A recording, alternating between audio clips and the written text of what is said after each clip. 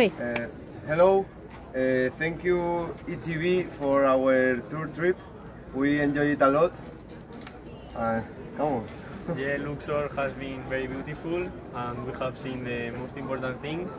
And our guide Esther has been really, really good and she has explained everything uh, clearly and perfect. Thank you. Thank you.